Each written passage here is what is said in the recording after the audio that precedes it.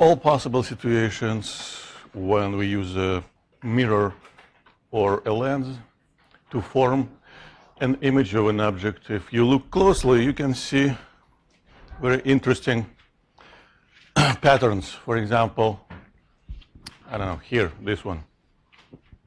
This image is virtual, and uh, on the opposite side relative to the device. Do we see any other images like that? No. this is on the other side of the device, but it's real. Um, this one is virtual on the other side, but if we compare, actually this one is smaller. And uh, if you look at the images formed by these devices, you can see that the location, the size, and the orientation of the image immediately tells us what device was used to form it. For example, this one is also larger, also virtual, but it's on the same side with the object relative to the device. And we don't see any other images like that. That's the only one. So if we know the characteristics of an image, we know how it's been formed. so for example, what do you think is being used here to form that particular image? So for our convenience, we can see all possible options, but eventually it's a time-saving technique to transfer all those pictures into the memory.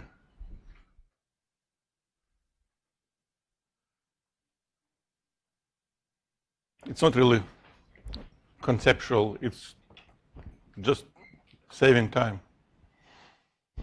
So, an image,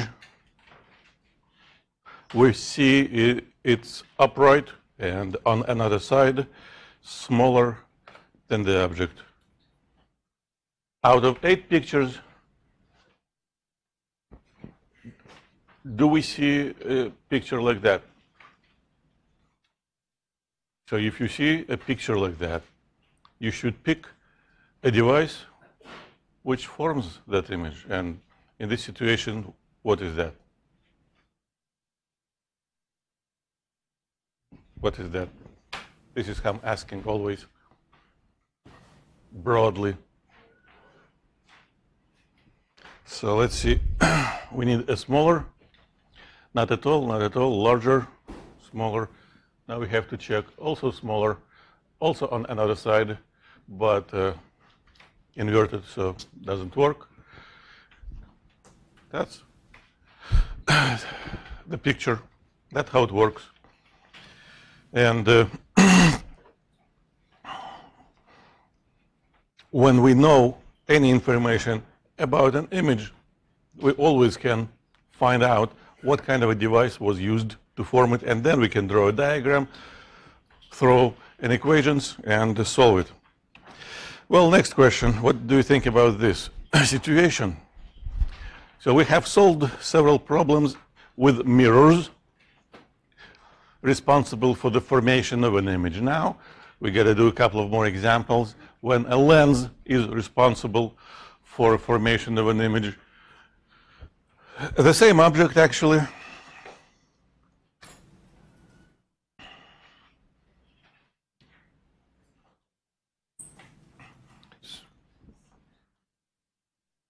I'm watching. That's what you're supposed to be doing. Everyone, everyone's supposed to be doing this. right? A diagram. We cannot answer.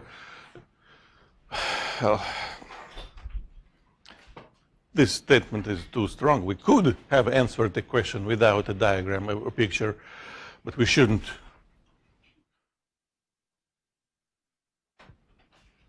We should follow the hundred years old procedure in physics, which always begins from drawing a picture which represents what's happening.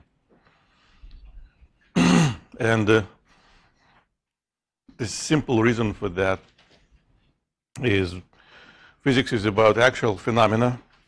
So ideally, we should have been running many, many experiments for all possible situations, but we can't. We don't have an equipment, we don't have time, so we have to replace an actual experiment with a thought experiment, and that requires using our imagination, using our ability to transfer what we see inside our brain into what other people can see outside on a paper. And uh, in this situation, again, is uh, it's starting from drawing, drawing the principal axis. Now, again, we don't draw an actual lens. We just indicate its location and its type. It's here, and conversion. So an actual lens would look like this in the air, or like this, or like this. As long as it's thicker in the middle, it will converge light. But we just show an indication of how those surfaces would have been, you know, seen. Now, next, focal length. Focal length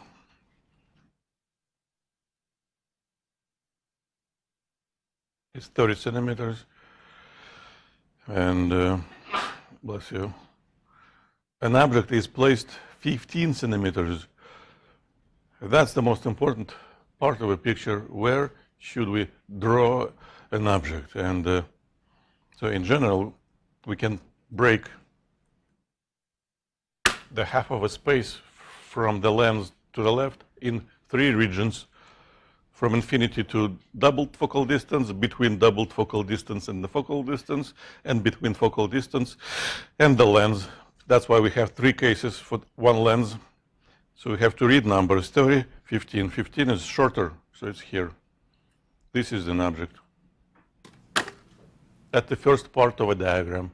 Second part is choosing two rays, drawing two rays, see where, where we have an image and answer the question. And the survey says, ah, forgetting first.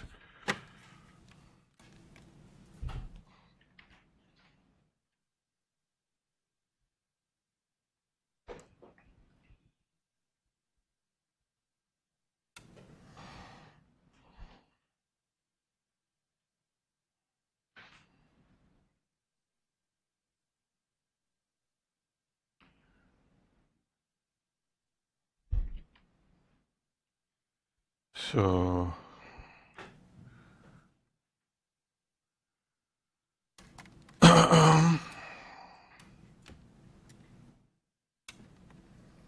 the ray number one. We always choose the ray number one to travel toward the lens parallel to the principal axis because after it travels through the lens, how does it go? Through the focal point point number one, point number two, we need to connect these two points. Uh, ray number two or three, people do it differently. I always recommend draw a ray which goes through the middle of the lens because it doesn't bend. It remains straight.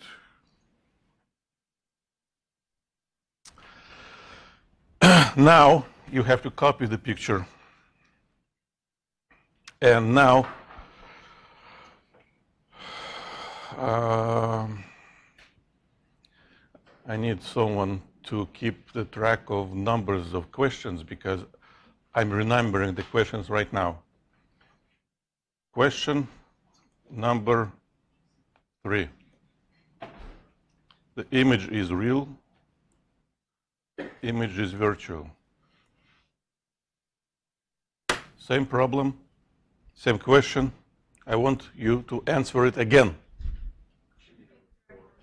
Hmm? See, that's why I asked someone to keep track of numbering. Four, thank you. Same question, just different number. Please.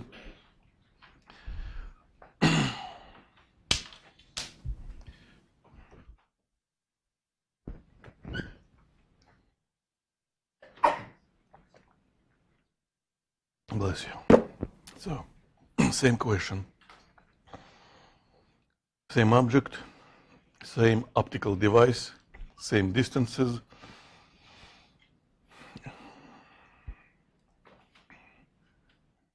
Yes, it was three, four.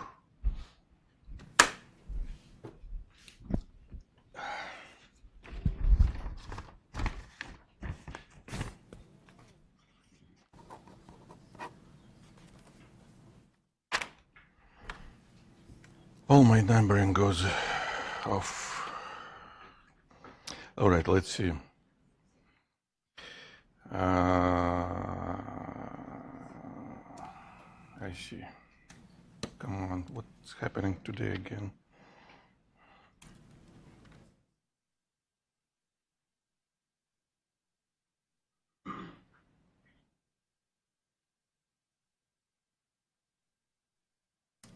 Do so you answered. So first of all, I had only 19 before. Now I want to have more. So that was question number three, almost 50-50.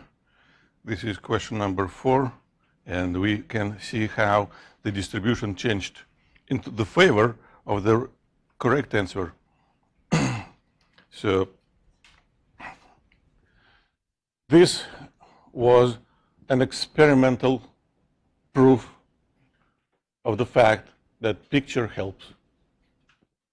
That's it. So initially, for the question number three, we had 50-50 distribution.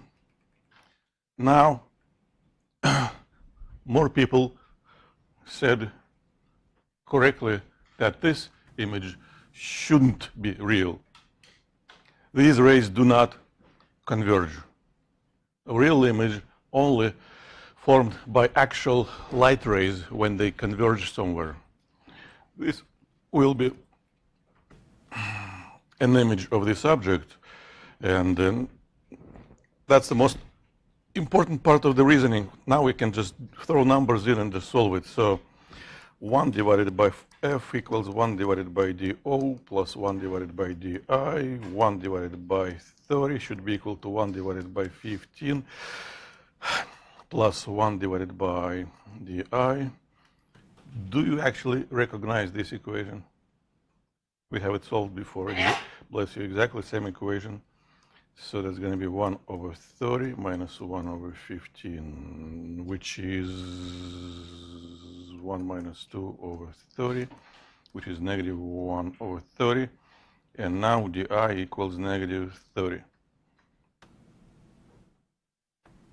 First of all, my picture is not very accurate because technically 30 centimeters is here.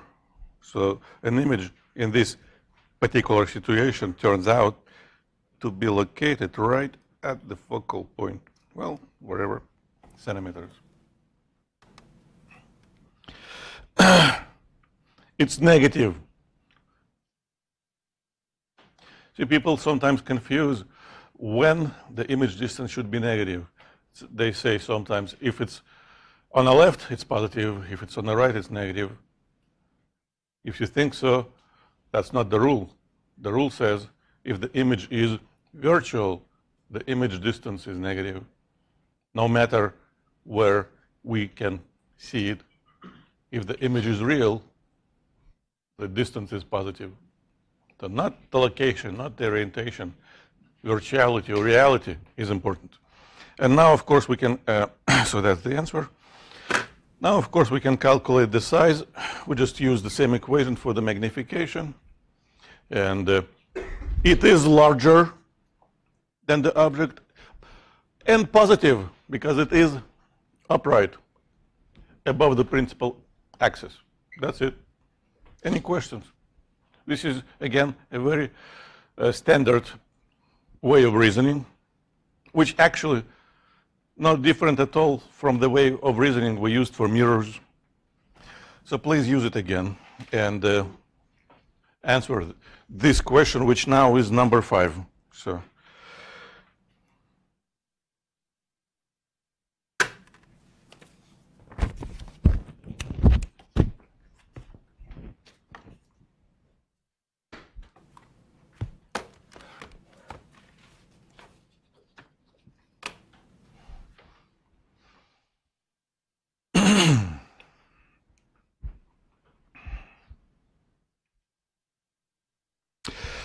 All right, to force you into drawing a diagram. Oh, you know what I'm going to ask you to do, right? To draw a diagram. Take out the phone out of your pocket or backpack. Take a picture of your diagram. Email it to me.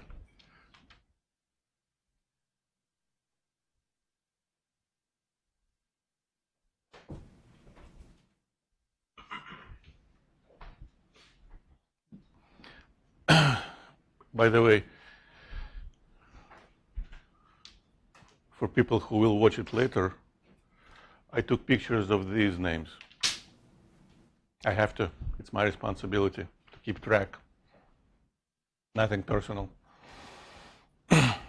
All right, please draw a picture, take a phone, take a picture of your picture, send the picture of your picture.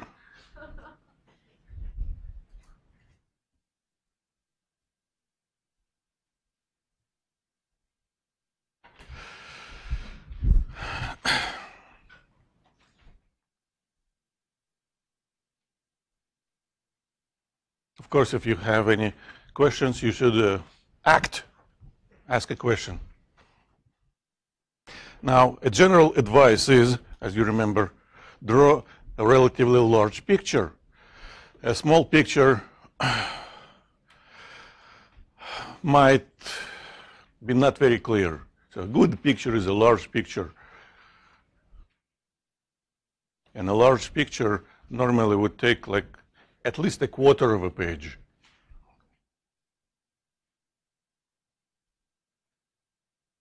At least. So the rule is a good picture is a big picture. Plus, you have probably noticed already, since we're going to draw many, many diagrams, it's handy to have like a ruler, something straight so you could draw accurately straight lines. Here at home on the exam,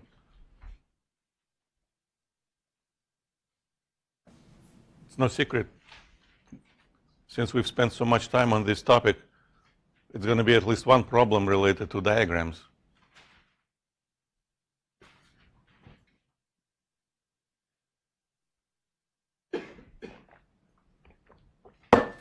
it's only logical.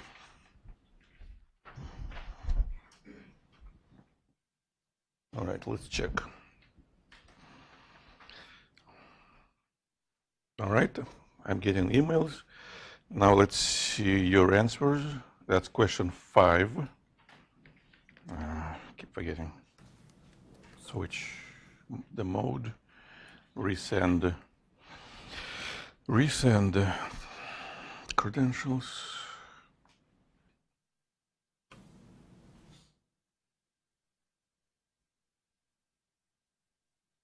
14. Uh, that can't be enough yet. 14 is not enough. So that was question number four.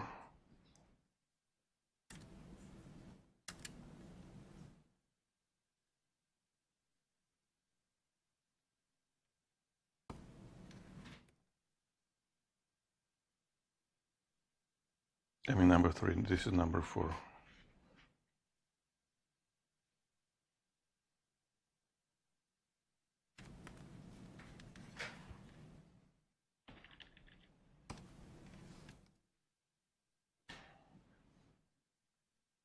So this is number five.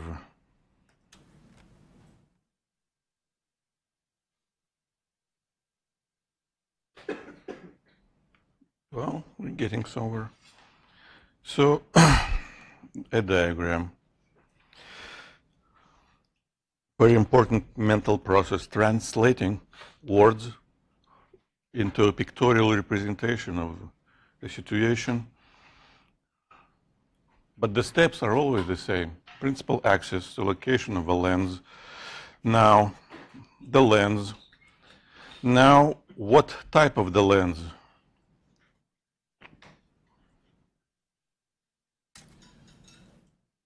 we know a divergent lens in air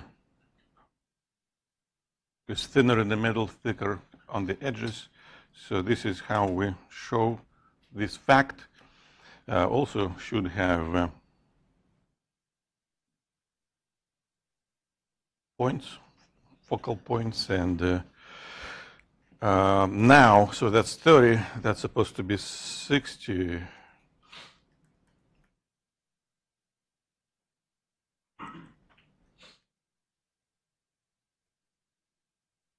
and this is where we place uh, an object. 60, okay. And uh, now we got to start drawing rays. So I choose always one ray which travels toward the optical device parallel to the principal axis, and the second one which travels through. And uh, the one which travels through is the easiest one. We know it's never, it never bends, so it just gets through.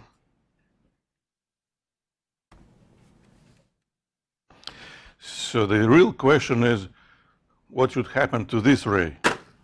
And uh, depending on how you answer that question, your picture is right or wrong, and everything else depends on that.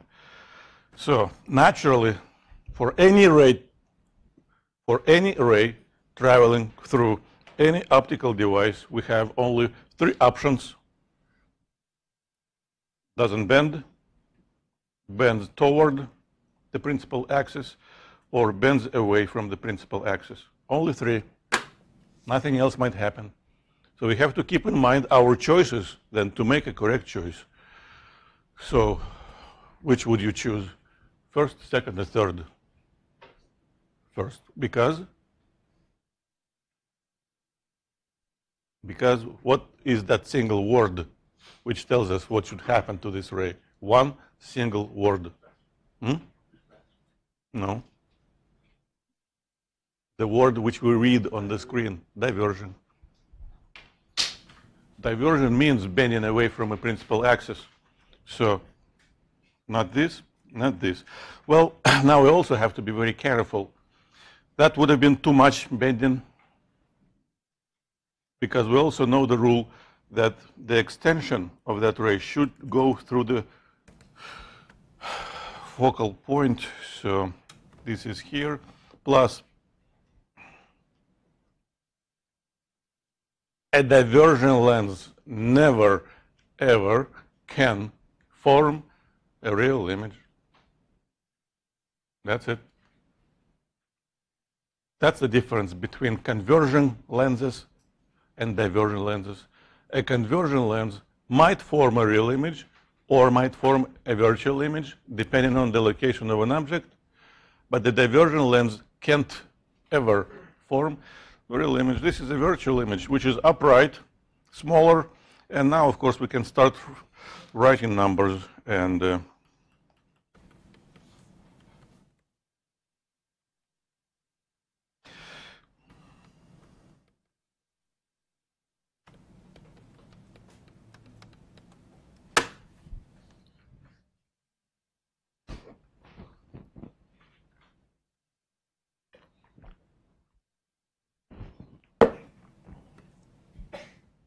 Can't move and I have to stop.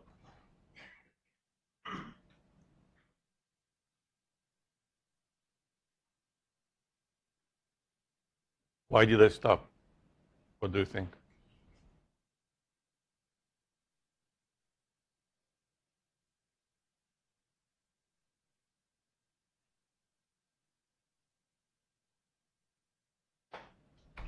Anyone? Yes? That's why I stopped. I made a mistake. All right. Let's make it official. Wrong. But it's a simple thing to correct it because it's a divergent lens.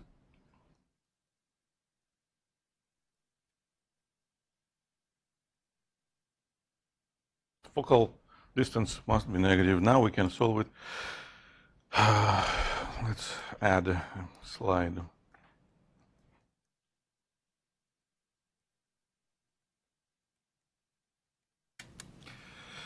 Negative 1 over 30 minus 1 over 60, 1 over di. Negative uh, 2 plus 1 over 60.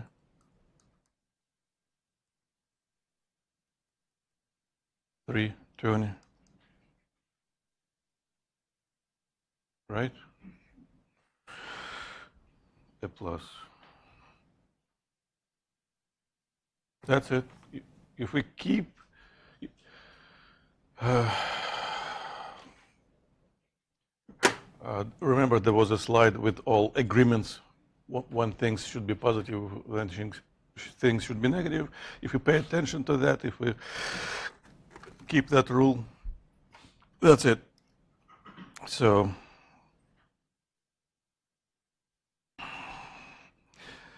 well, again, my picture is not very accurate because uh, well, actually, more or less, that's 20 centimeters.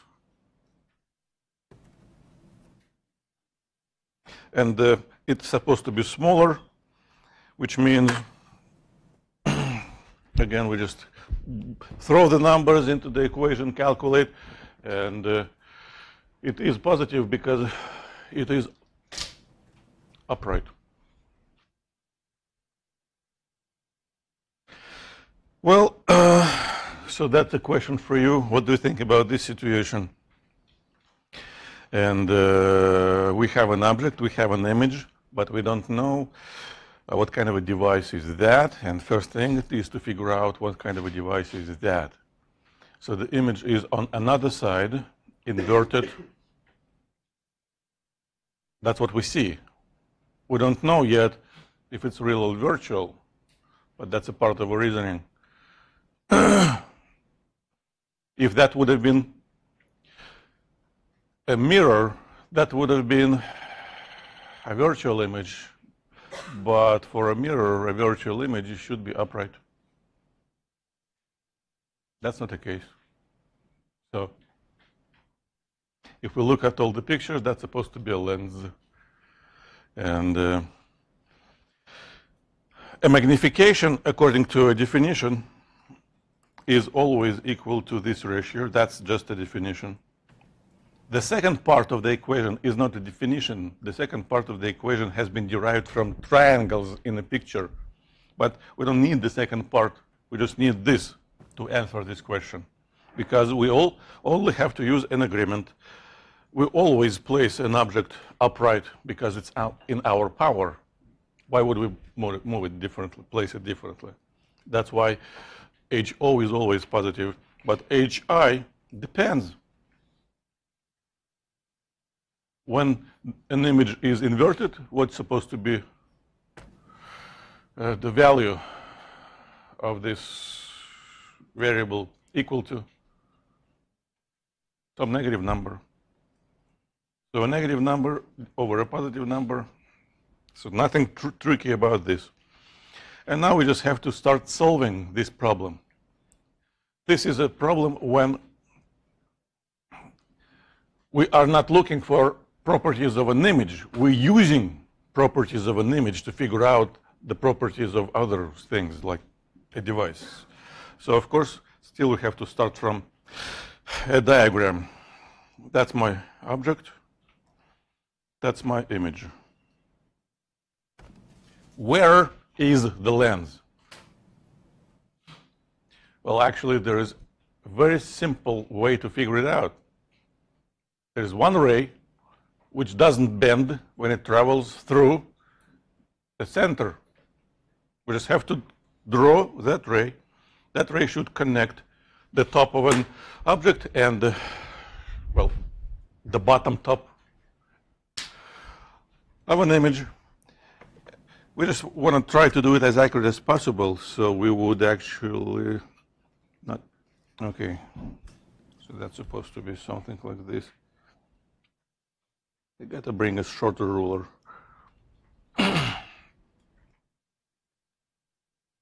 so we know this ray shouldn't bend. So here we should have the lens. What kind of a lens?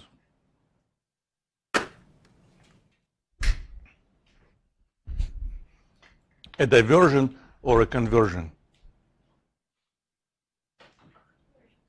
Conversion. For a diversion lens, as we just saw, the image would be virtual and on the same side. Well, now we can add another ray. It should go like this. We actually don't have to, but uh, it's handy. That's supposed to be the focal point. Now we can start writing equations. So 1 over f equals 1 over dO plus 1 over di. And uh, we have to make a choice for the actual value of the focal distance, should we write a 30 or a negative 30? That depends on this, right? For this lens, that's 30. So 1 over 30 equals 1 over, hmm. We cannot solve this equation. It has two unknowns, which means we need one more equation. And we have it the magnification. That's the definition. This came from geometry, from triangles. You see triangles. I can see at least one, two, three, four, five triangles. And, uh, well, how should I use this equation? Well, I should write 0.5 equals this.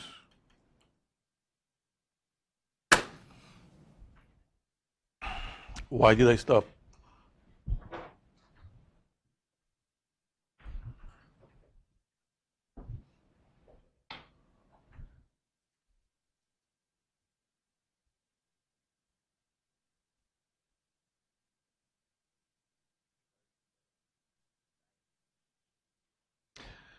Well, you see, that's what people usually do. They skip part of the reasoning. First, I stop because I made a mistake. And the next part of reasoning, what mistake did I make? Magnification, of course. We just discussed it.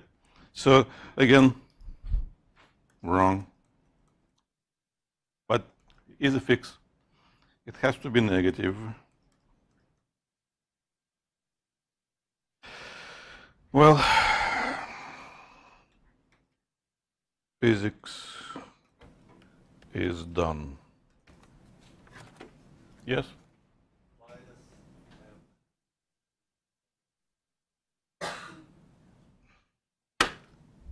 Why is M negative? Anybody, please. Yes.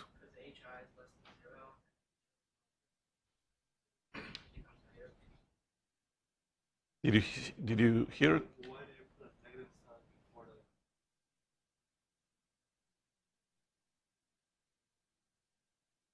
See, you asking two different questions. Why is M negative? That's one question. Why is this a minus? That's a different question. Pick a question. Only one. No, only one. You have to pick one question. Which is more important for you?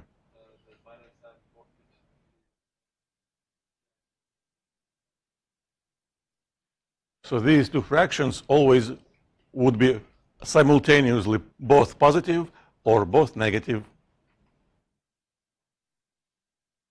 Because if hi is negative and uh, uh, di is positive, you would have some negative number be equal to positive number, which is impossible.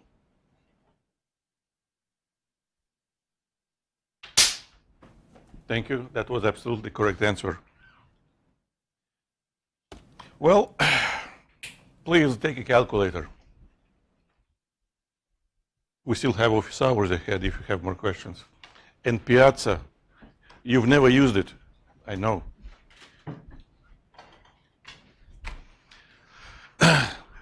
Moving on.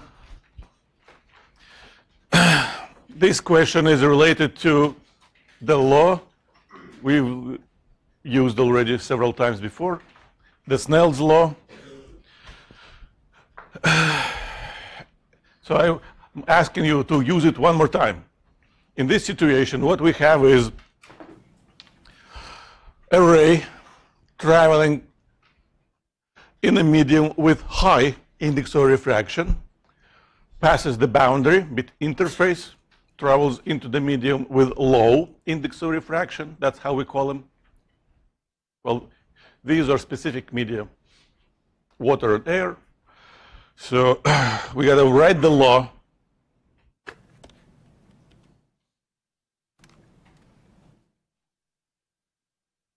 Plug the numbers, take a calculator, and calculate it.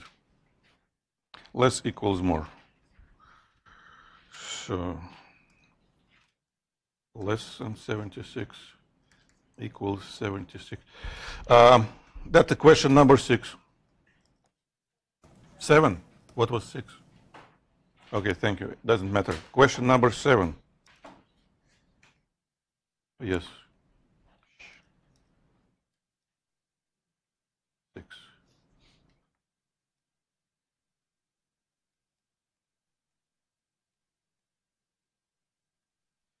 Three greater than 76.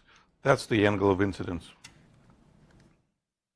So the law says, we know very well, that this product is equal to this product. So we have to pick correctly the name for each medium. The medium number one in this problem, how do we call it?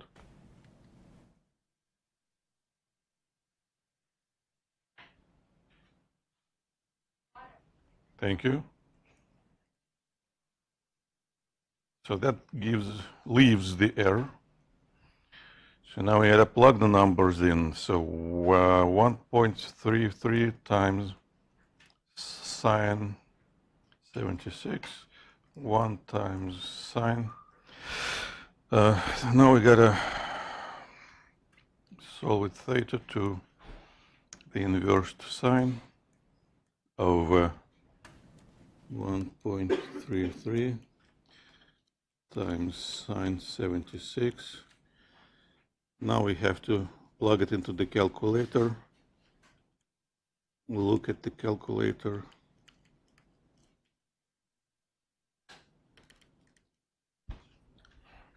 So what does it say?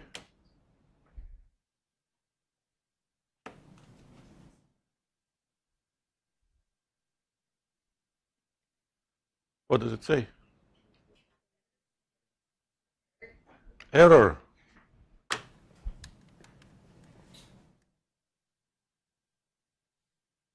What does it mean?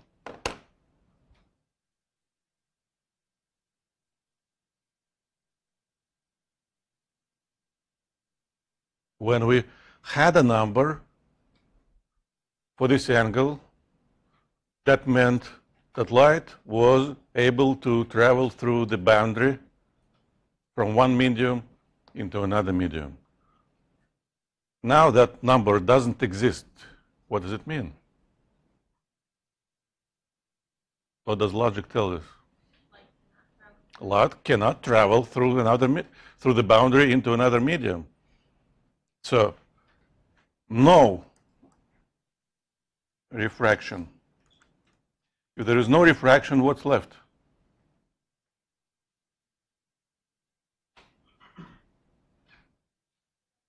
What other phenomenon might happen on the boundary, on the interface between two media? Reflection. So in this situation, in this situation, light can't travel through. It must completely be reflected back into original medium. So this phenomenon has a name, total internal reflection, because light gets totally reflected back into the medium number one. But that's not happening at any arbitrary angles. And actually, we have seen it last time, so let's just take a quick look one more time. Total internal reflection.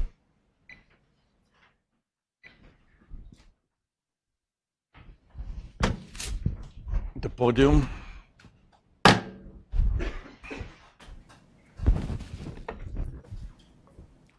The mysterious liquid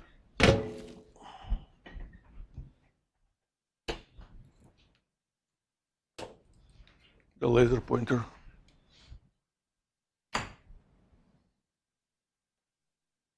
Okay. But right now it goes out. Right now it's get reflected. There has, there has to be a critical angle between these two different regimes. So how do we find it? Well,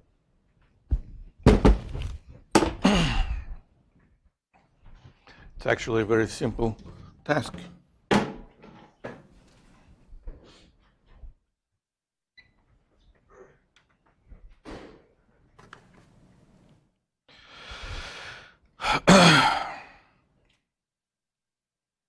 when so medium number one and one and two and n1 must be greater than n2 and uh, when angles are relatively small, light does travel through theta 1, theta 2. When angles are large enough, oops, that's what starts happening. So the critical angle is when light supposedly travels like this between out and in. This angle is equal to 90 degrees. That's what we call the critical angle. So if you write an equation, n1 times the sine of the critical angle supposed to be equal to n2 times the sine of 90 degrees. That's it. The sine of 90 equals what? 1. So this ratio always gives us a way to calculate the critical angle for these two media. And uh, I've got the picture. Now, nowadays, we have actually very important practical application of that. Fiber optics.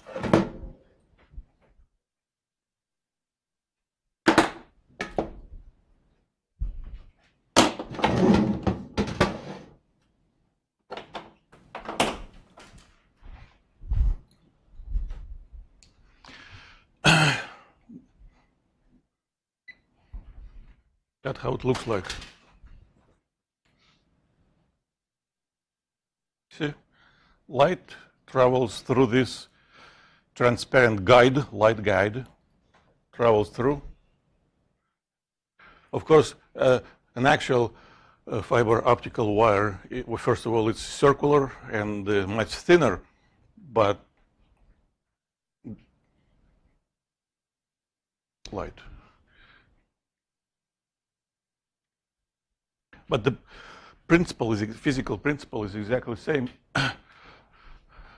Light rays enter the fi fiber optical wire, but because of the total internal reflection, they cannot get out.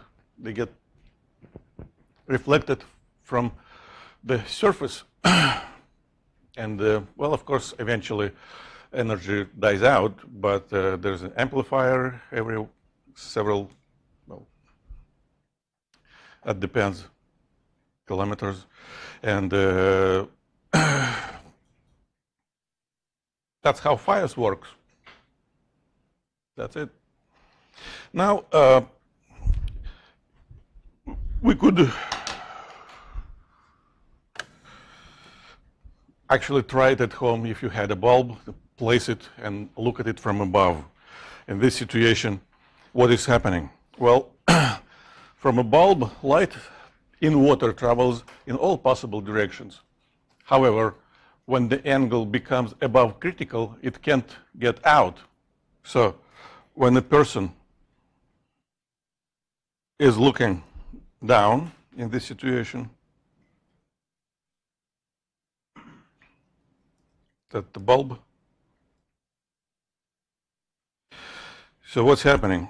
Well, of course, this ray travels out, no problem at all. It doesn't bend at all. Let's say we have a ray which travels away from a bulb and reaching this point of a surface. Well, so what should we do? We should draw a normal. This will be the angle of incidence. And, uh, well, if this angle is less than critical, some light will be traveling in the air and reaching the eye, and we see bright spot. Now, there is critical angle. Let's say this is a critical angle. For this angle,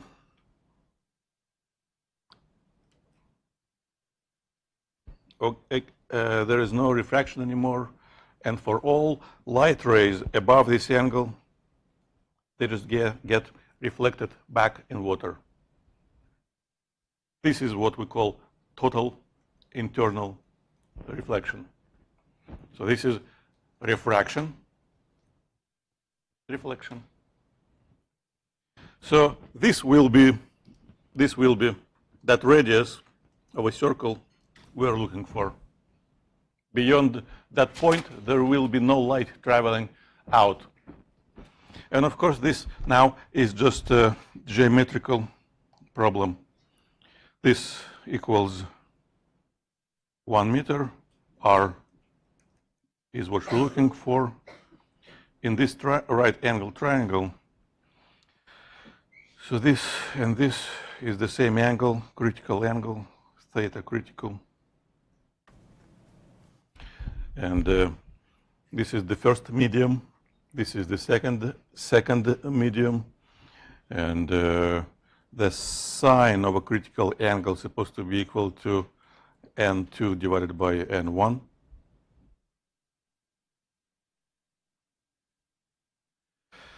We could do some geometry and algebra combined and solve this problem without using any numbers. But the fastest way is just use numbers. So uh, this equation tells us how to calculate the angle, a critical angle, critical angle, which is theta 1 for this situation. And if we know critical angle, the radius we are looking for divided by the, well, how deep, how much deeper the bulb is than the surface is, that's supposed to be equal to the tangent of this angle. That's it.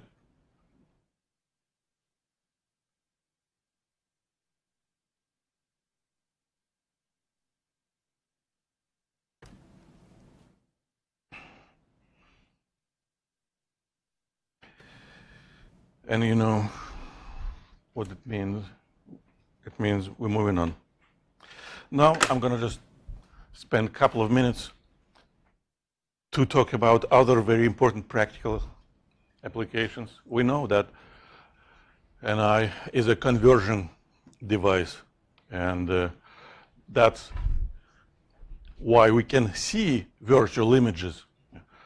When we look in the mirror, we look at the virtual image because this lens converges light. Where? Well, if you want to see a sharp image, the light's supposed to be converged on the retina here. If it's not there, the image is blurred. And uh, well, the healthy eye can focus on uh, objects practically from about 25 centimeters to infinity. For not healthy eye, that's not always the case. For example, people like me, we need glasses. Why? Well, because when an object is far, farther than a critical point where I can focus on, the image of that object is not on the retina anymore. It's in front of it. But of course, light doesn't stop here. Yeah. Rays go to the retina. But that image becomes blurry. And uh, how do we fix it? Well, simple. I want these rays slightly diverge. That's why we use a divergent lens. So, and this is already an optical system, not just optical device, two, two devices. And if we want to calculate the optical power, we just have to add, well, that's supposed to be close to the optical power of a healthy eye. This is an, uh, of an actual eye. And uh, we just, well, of course, we don't calculate. If you go to an optometrist, they don't do mathematics. They have a device which they use. The people who invented the device, they did physics and they did mathematics. Now, in opposite situation, and I cannot focus on uh, objects which are close. It's uh, the image, the sharp image is behind the retina. So what do we do now? We want to extra converge these rays. That's why we use a conversion lens.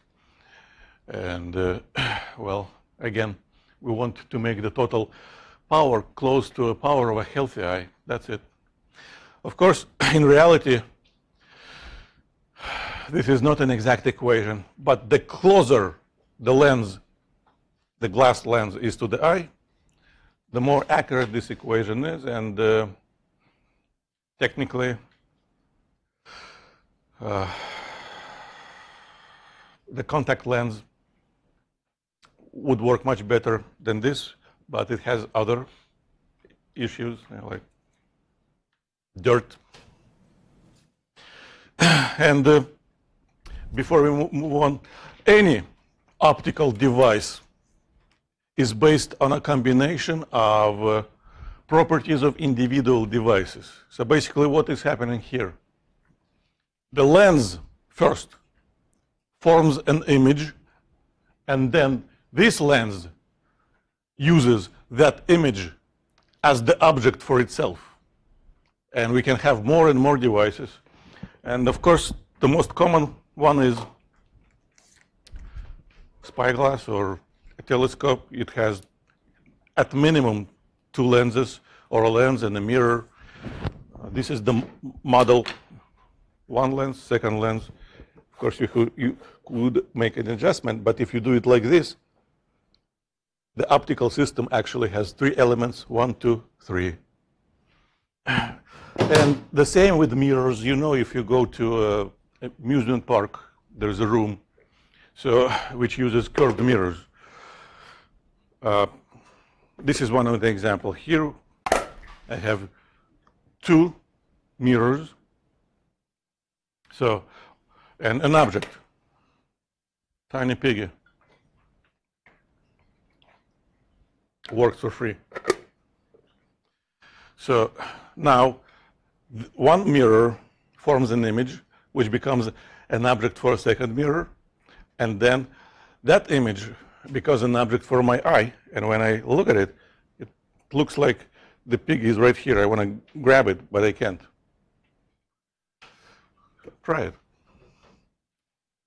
And uh, you can pass it around. So the general idea for every situation like that is simple. Yeah. We have to draw several ray diagrams in a row. We're not going to do that. It just, you know, if we wanted to, we could have. One device produces an image. That an image becomes an object for the second device. It produces its own image. That an image becomes an object for the third device. etc., etc. And people have developed powerful telescopes, microscopes, using this simple principle. Now, we have seen this slide. Actually, you know what? I've got one more. You can move it. Yeah, let have some fun. All I want to do is have some fun. I've got a feeling I'm not the only one. now, we've seen this slide. And uh, it tells us that depending on uh, what phenomenon we study, we look at light differently. For a simple phenomena like reflection, refraction, we treat light like uh, many, many tiny particles traveling away. But there are more complicated phenomena which cannot, can, cannot be explained by the particle nature of light.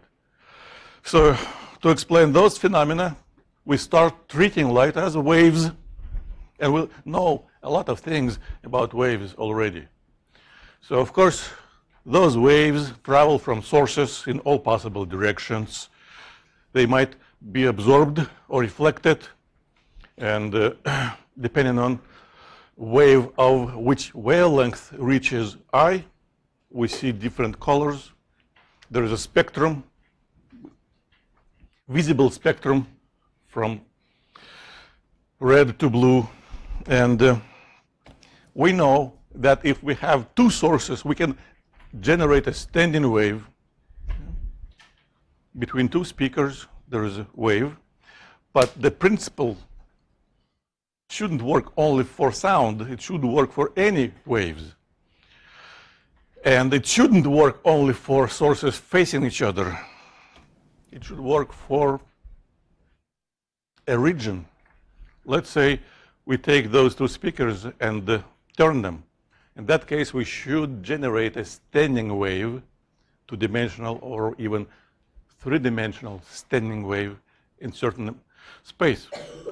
So that's what we're going to talk about, the properties of standing waves generated by two coherent sources. Well, again, the idea is simple. We know what one source does. It generates, if it's a point source, it generates spherical waves traveling away in all directions we know what the second source does. So basically, this is what we need to do. Just put the pictures together. And let's do it.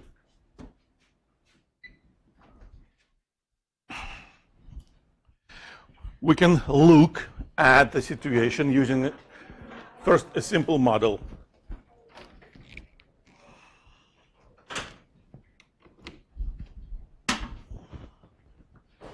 Where can I generate waves? Well, for example, on the surface of lake or pool or uh, anything with water.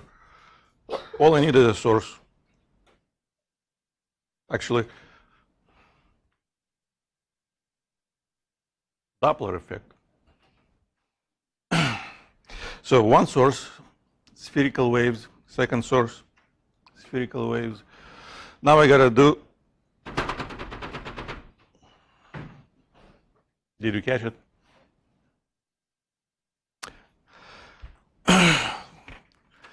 we kind of get an idea, but it's really hard to see because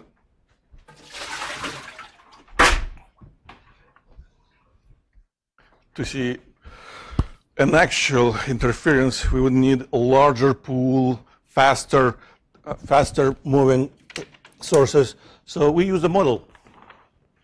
One source, second source. Here we can see how they overlap. So these lines represent fronts. First front, second, third. So sequence of fronts travel away. And here, what's happening here? Well, we know what should be happening There's displacement number one, there's displacement number two. The actual displacement is first plus second. So here we, we may have a situation when both waves have displacement up, crests. In that case, the resultant also is up.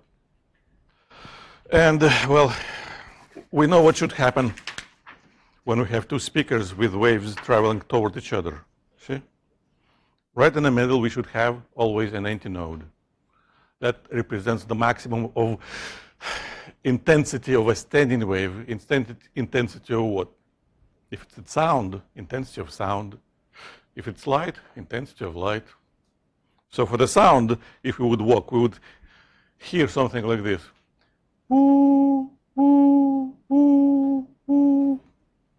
Maximum intensity, nothing. But in physics, nothing we call minimum.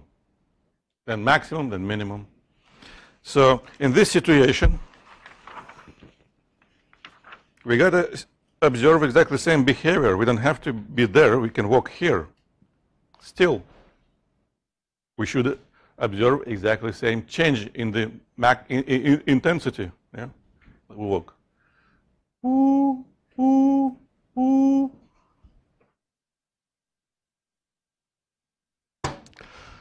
Nightmares forever.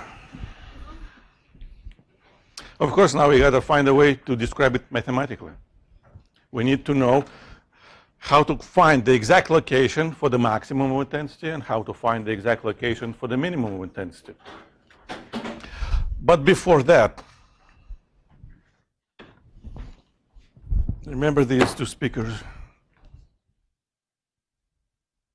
I want you to hear that intensity does change indeed.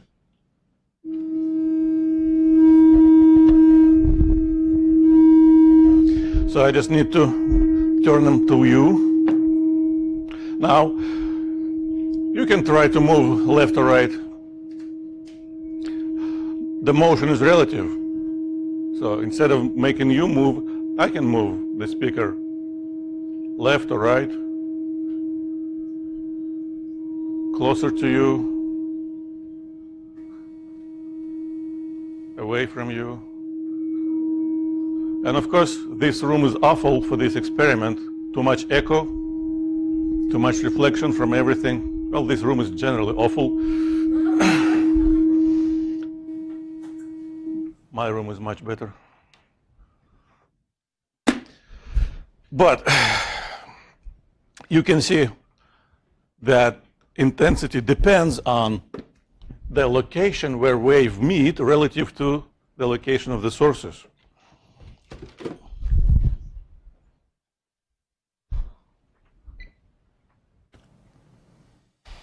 Well, mathematics, okay. Ah. This is actually a handy uh, simulation.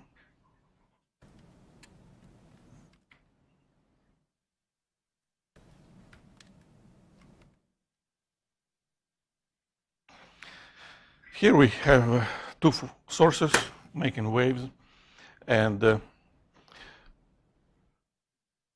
the color coding helps us to understand what is happening.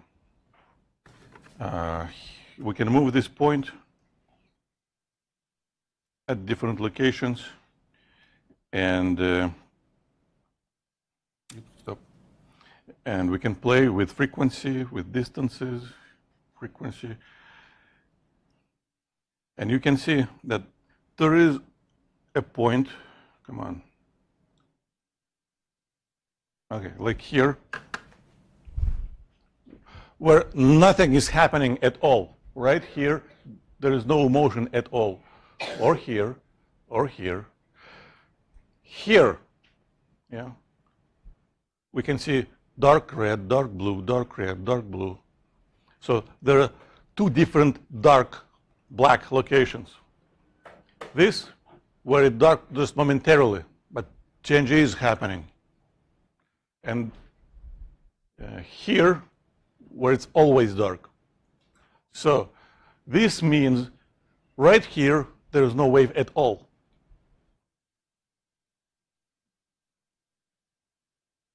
And uh, all those lines, all those locations, we call uh, locations of a minimum of intensity.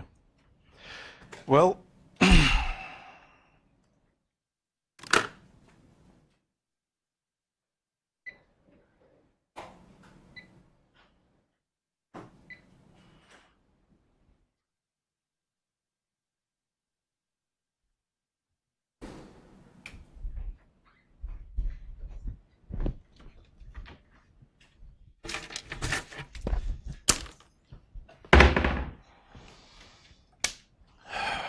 it's very important to be able to visualize what's happening.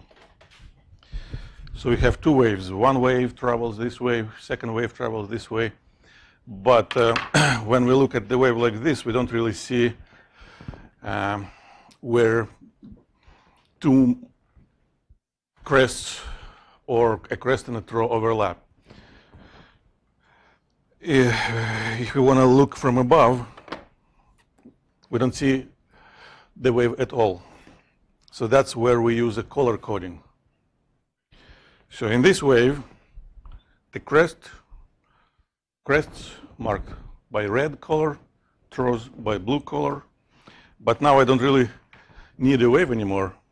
All I need to see is red, blue, red, blue. And this point is dark. That's where the equilibrium is located. So now all I need is two waves. One wave travels from a first source. Could have been a speaker or anything else. Here. Well, all, so wave travels in all directions, of course, but I, I need only one to see what's happening. Here I have a second source, second source. So again, from this source, waves travel in all possible directions. And somewhere here, let's say they overlap. and uh, this is a photograph, an instantaneous snapshot of these waves. So one wave travels like this. Yeah, we can trough, equilibrium, crest, equilibrium, trough, equilibrium, crest, equilibrium. That's why I used color coding. Same here. Well, actually, they have to be in phase. So they have to start from the same. All right. So trough, equilibrium, crest, equilibrium, trough, equilibrium, crest, equilibrium, two waves. Now what's happening, uh, say, here? From this wave, we should see a trough. And from this wave, we should see a crest. We actually have symbols for those di uh, directions.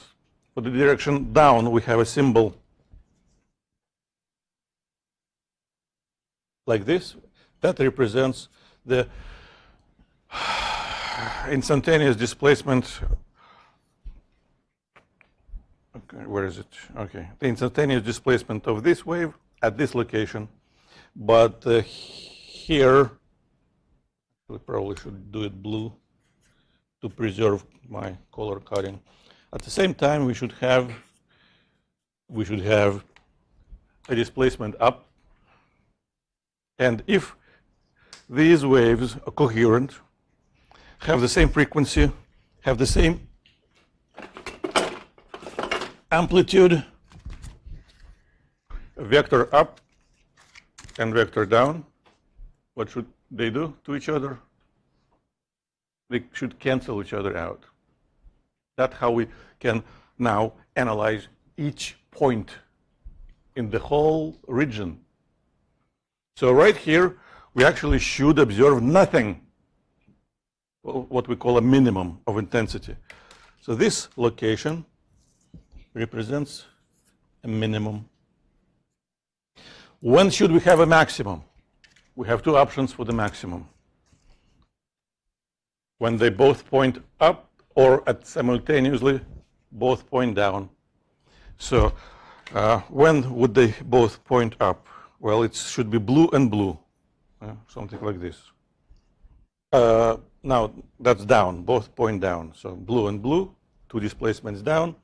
So here we should have down and down y1, y2.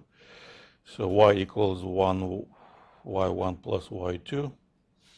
That should represent a maximum. Not for sale, make yourself, make your own. So, and now you can, of course, do more and more and more exploration. And you can see we should have locations where nothing is happening. Waves cancel each other out. We call it that we say here destructive interference is happening. Here constructive interference is happening. And of course there's something in between. Those points not interesting, so we don't talk about those. We only talk about points when nothing is happening or oscillations, wave happens with maximum possible amplitude. So if that would be a sound wave, a person here would hear the loudest sound. A person here wouldn't hear anything at all. And uh, if you walk from here to here, it gets louder and louder. Then to the next minimum, go to zero, then to the next maximum, etc., etc. Now, how do we find all those locations? Well, we actually know how to do it because we know here we should have a standing wave with the maximum right in the middle. Maximum. And what's to the left and to the right? To the maximum? Nothing. Yeah, a minimum. And what this distance should be equal to?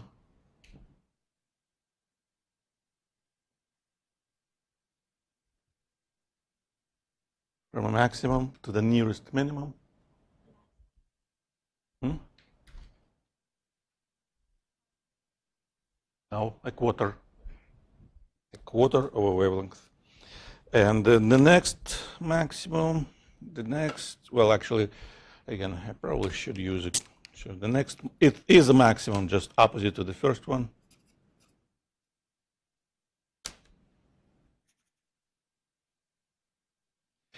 We've done it before, so nothing new, etc., etc.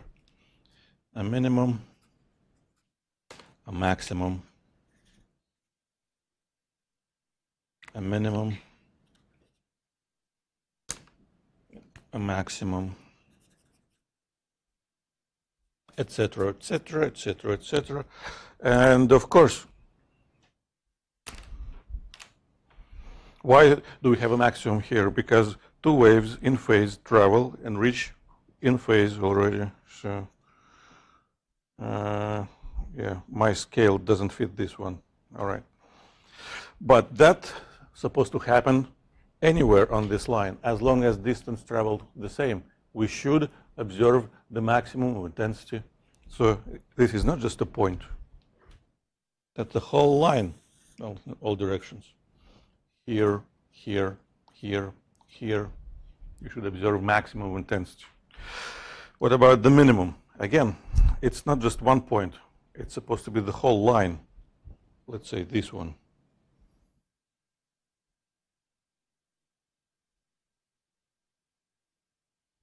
Well, it's not to a scale.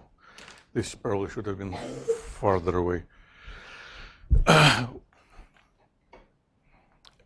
so all those lines can be found by this method. We just look at the region between because we know what's happening in between. And then all those lines, okay, maximum, yeah. I should have preserved next time, next year. now, mathematics. One wave travels to here, distance which we call, let's say, L1.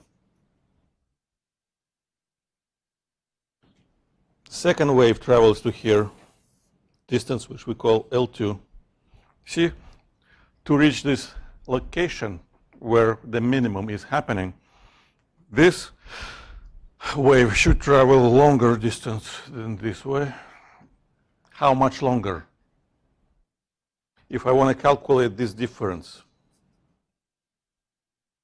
this is the path of the wave number one. This is the path of the wave number two.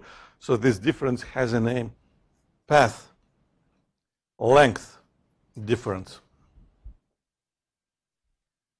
For this particular point, we know that this distance is equal to a quarter of a wavelength. So mathematically, this minus this will be equal to what?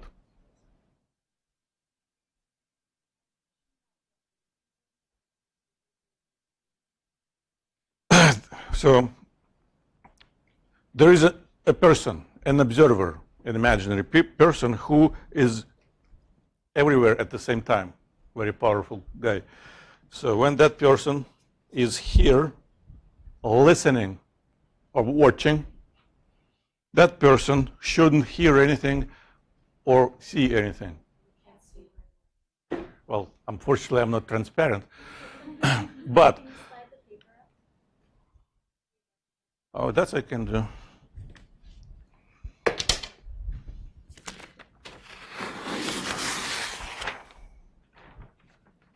Better? So the distance traveled from the first source to this point, to the location of this observer, that's uh, what we call, well, path, and it has a certain length. Second. And again, from this source, a wave travels to the same location, different distance. So different path, different distance.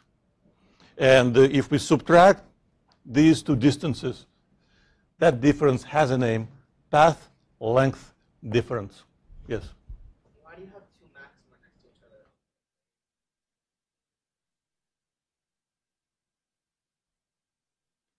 I don't know the actual arrangement. I know that on both sides to the first maximum, I must have a minimum nothing. Eh, we used to call it node. But if I move a quarter of a wavelength from a node, I must reach, again, an antinode, which now we call maximum, because relative to the observer, that should be maximum intensity of a sound here, uh, or he should observe maximum intensity of light here. But if we move another quarter of a wavelength, we should reach another location when there is nothing. And there are many locations like that with nothing.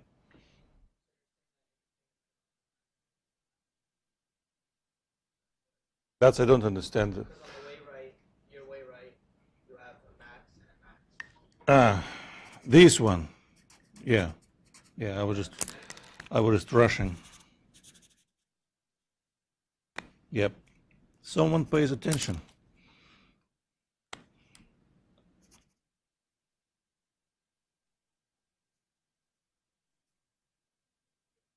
black, blue, black, red, black, blue, etc., etc. Yeah. So this is very important part of the reasoning. What number should I write? Or expression? The distance traveled from here to here minus the distance traveled from here to here is equal to I wish I had candies. First person who would give the right answer would get the candy. I can't give extra credit.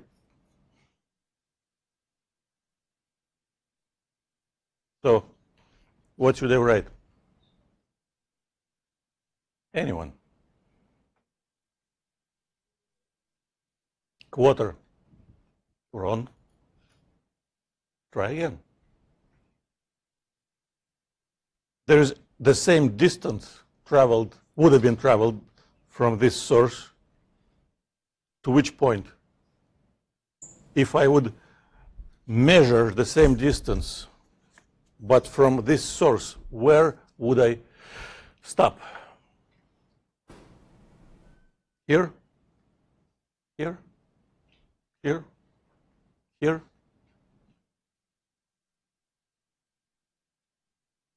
This distance from here to the minimum, which is the nearest to the center. So that would have been that would have been the same distance which we called L1 because it would have been again from the source to the minimum the nearest to the max to the center and the difference between these two is this. So it's not a quarter. It's two quarters or a wavelength. And now,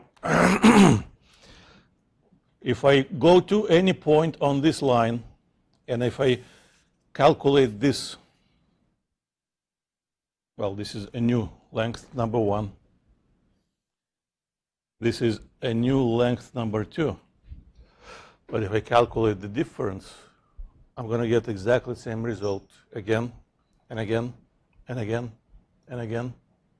For this line, for this line, for this whole line, the path length difference is a half of a wavelength.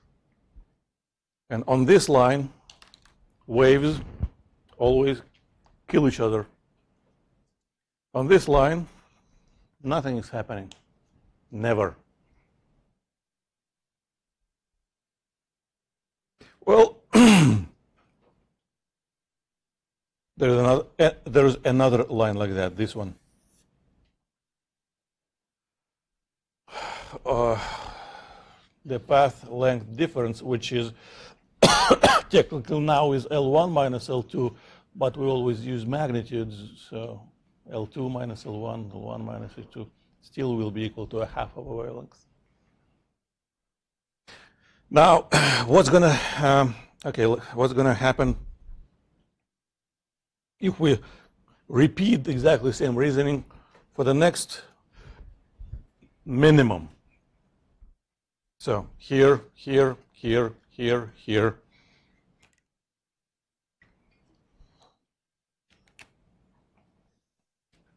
L2, L1. The path length difference should be equal to what? Well, we need to find the difference between these two. The difference will be the same for all. and uh, for this line, the path length difference will be equal to, what do you say? And that's part is geometry. So that the second minimum from the central, first, second, the second minimum from the central. So this is what we're looking for, one, two, three, four.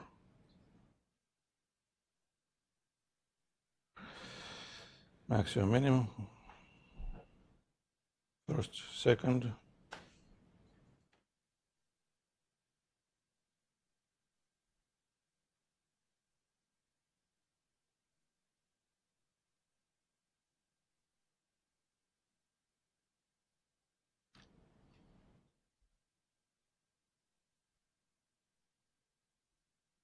Is my picture correct? But I know what I have to get in the end. Quarter, first minimum, maximum, second minimum. Quarter, first minimum, maximum, second minimum.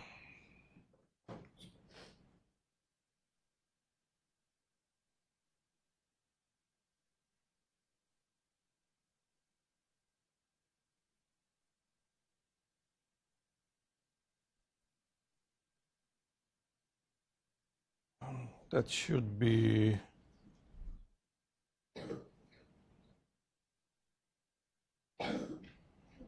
three and uh, halves.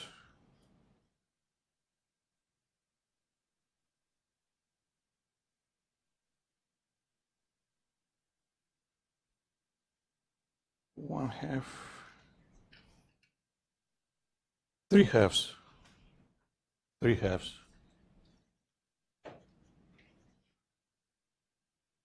One half, second half, three halves. That's how I want to write it down in terms of halves. Um, because if we had time and if we could move to the next maximum and to the next maximum, or to the next minimum and to the next minimum, I do minimum first. The pattern would have been, emergent pattern would have been one half, three halves, five halves, seven halves, etc., etc. so when the path length difference will be equal to an odd number of halves, at that location we should observe nothing. Maxima much easier. For the maximum here, there is no path length difference. For the next maximum, that would be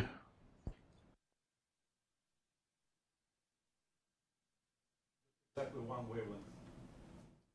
For the next maximum, that would be just exactly two wavelengths. Next maximum, that would have been just exactly three wavelengths. So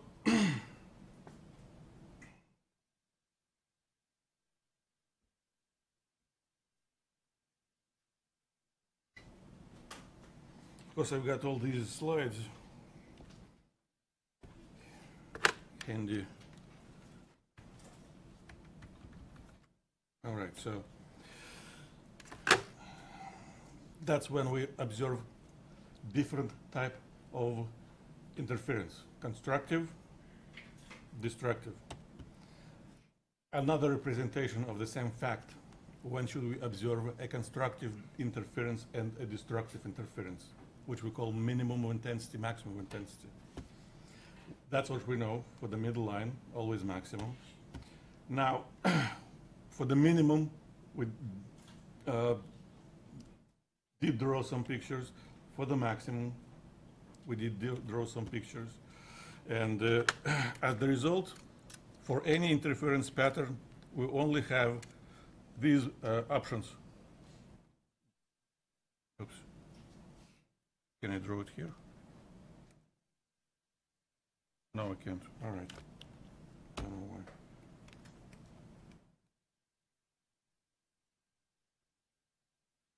And the result depends on the path length difference and to observe a maximum of intensity at certain location, the constructive interference, we need to be able to fit a whole number, a natural number of wavelengths in the path length difference or to observe a destructive interference, a minimum intensity. We need to be able, well, this is how people write it in mathematics. But if you multiply by 2, divide by 2, that will give you an odd number, an odd number of halves of the wavelength. All right, I'm going to pick up from this tomorrow. So this slide just is the summary of everything. I'm going to put this slide and uh, this is what we call conditions. The condition for the maximum, condition for the minimum of intensity. Thank you. There's another little piggy somewhere. Let's bring it back. Good morning.